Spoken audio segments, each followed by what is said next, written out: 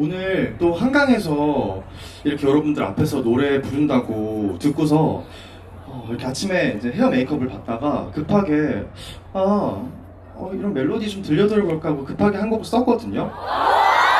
제목이 한강에서 라는 곡이에요.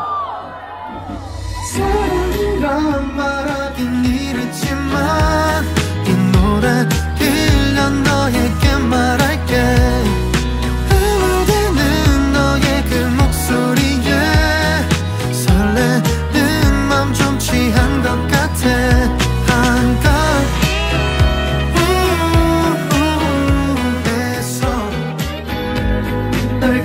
기다릴게.